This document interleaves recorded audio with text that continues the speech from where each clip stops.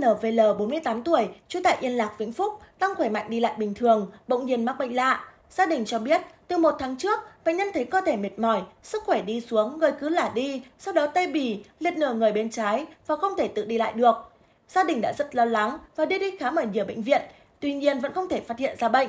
Sau đó, bệnh nhân được gia đình đưa đến bệnh viện hữu nghị Lạc Việt, cơ sở Vĩnh Yên, Vĩnh Phúc để thăm khám. Tại đây, bệnh nhân được các bác sĩ chỉ định chụp cộng hưởng từ. Kết quả chụp đã phát hiện chính xác các ổ tổn thương giải rác ở trên não của bệnh nhân, giúp các bác sĩ đưa ra chẩn đoán bệnh nhân mắc bệnh lý, miễn dịch sơ cứng giải rác và ngay lập tức đã cho nhập viện điều trị. Sau 4 ngày điều trị, sức khỏe của bệnh nhân đã cải thiện 85%, có tiên lượng tốt, dự kiến sớm được xuất viện và tái khám theo hẹn của bác sĩ.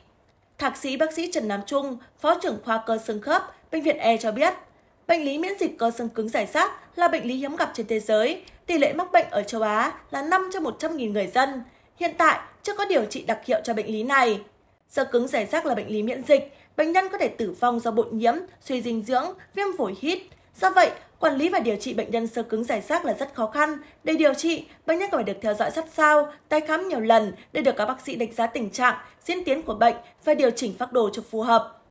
bản chất của cái câu chuyện bản chất của cái bệnh lý chính là uh, có cái sự hình thành bởi các cái tự kháng thể chống lại các cái cấu trúc của cơ thể của chúng ta uh, chống lại các cái uh, cấu trúc ở ở um, ở da ở cái mô dưới da ở các cái mạch máu. Chính vì vậy cho nên nó làm cho cái da của chúng ta dày và cứng đồng thời cũng làm gây dày lên ở các cái mạch máu và thậm chí là gây tắc ở các cái mạch máu làm ảnh hưởng đến cái sự co giãn của các cái mạch máu. Uh, cho nên là uh,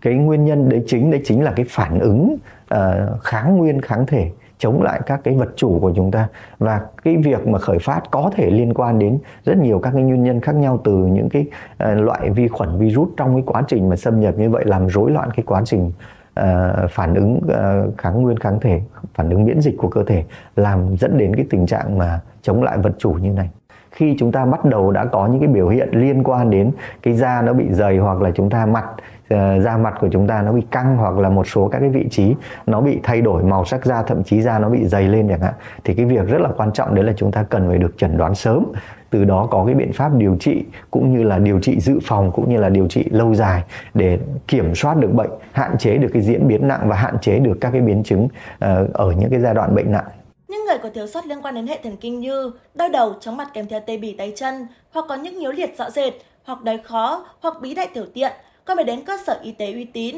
có đầy đủ trang thiết bị y tế hiện đại để được phát hiện bệnh, điều trị kịp thời.